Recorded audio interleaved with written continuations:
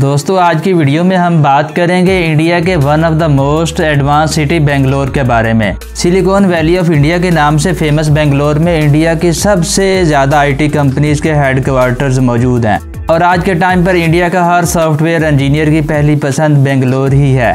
बेंगलोर में रहने के लिए इंडिया की one of the best places में गिना जाता है।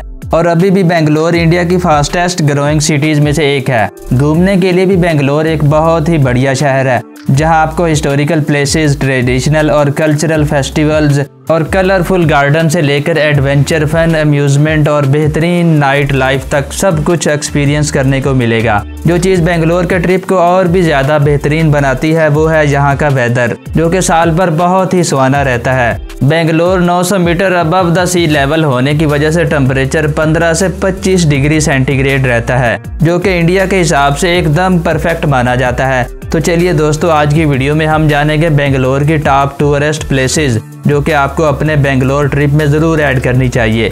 ग्वानतारा केव रिजॉर्ट बेंगलोर का ग्वानतारा केव रिजॉर्ट इंडिया में इस तरह का पहला अंडरग्राउंड केव रिजॉर्ट है, जहाँ आप अपने फ्रेंड्स या फैमिली के साथ पिकनिक मनाने जा सकते हैं। इस अंडरग्राउंड केव रिजॉर्ट में आपको पुराने ज़माने के आर्किटेक्चर की फील आएगी, और यहाँ इंडोर गेम्स और आउटडोर गेम्स हॉर्स राइडिंग जैसी फन एक्टिविटीज़ भी हैं। जहाँ आप डेफिनेटली इंजॉय करेंगे। अपने स्पेशल आर्किटेक्चर और यूनिक एक्सपीरियंस की वजह से इस केव रिजॉर्ट ने बहुत ही कम टाइम में बेंगलोर में काफ़ी पॉपुलैरिटी बना ली है।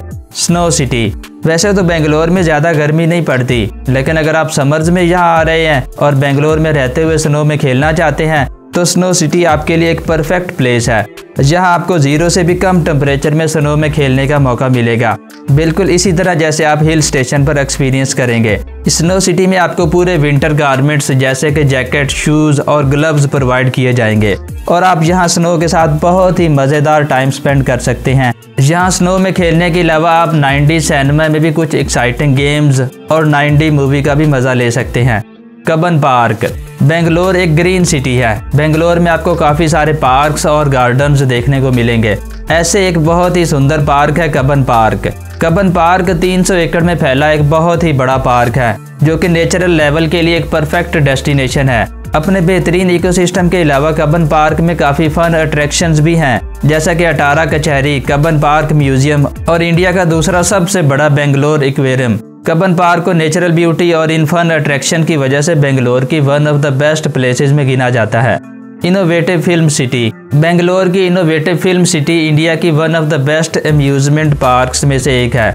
ये मुंबई की फ़िल्म सिटी से थोड़ा अलग है। ये एक थीम पार्क है, जहाँ हर एज ग्रुप के लिए बहुत सारी फन एक्टिविटीज़ हैं। इस अम्यूजमेंट पार्क में आपको काफ़ी सारी exciting rides water park dinosaur park mirror maze haunted mansion tribal museum cartoon park Bigg Boss house sand beach aqua kingdom और भी बहुत सारी एक्साइटिंग एक्टिविटीज़ देखने को मिलेंगी। इन सब फन और एंटरटेनमेंट एक्टिविटीज़ के अलावा आप कारपोरेट इवेंट्स बिज़नेस मीटिंग्स और प्री वेडिंग शूट के लिए भी आप यहाँ हॉल बुक कर सकते हैं। इनोवेटिव फ़िल्म सिटी एक पूरा कंप्लीट पैकेज है, जहाँ आप अपना पूरा दिन बहुत ही बेहतरीन तरीके से स्पेंड कर सकते हैं। स्कॉन टेंपल बेंगलोर आकर आप इस्कॉन टेंपल इंडिया के सबसे बड़े कृष्ण मंदिर में दर्शन करना तो बिल्कुल भी मिस नहीं कर सकते। इस्कॉन दुनिया की सबसे बड़ी वैष्णव संस्थाओं में से एक है, और बेंगलोर के इस्कॉन टेंपल की पूरी इंडिया में काफ़ी मान्यता है। इस मंदिर का आर्किटेक्चर भी काफ़ी अट्रैक्टिव है, जो गिलास और गोपुरम के मिक्सचर से बना है, जो कि इसे मॉडर्न और ट्रेडिशनल दोनों तरह का लुक देता है। इस मंदिर में रेगुलरली पूजा और स्पीचेस होती रहती हैं, जो कि आप फ्री ऑफ़ कास्ट अटेंड कर सकते हैं। साथ ही आपको यहाँ भगवान कृष्ण का प्रसाद भी मिलता है, जो कि बहुत ही टेस्टी होता है। दोस्तों, ये थी चंद फ़ेमस टूरिस्ट प्लेसेस उम्मीद करते हैं ये वीडियो आपको पसंद आई होगी तो इसको लाइक कर दें। और हाँ अगर आप हमारे चैनल पर नए आए हैं तो इस चैनल को ज़रूर सब्सक्राइब कीजिएगा। साथ मौजूद बेल आइकान को भी प्रेस कर दें।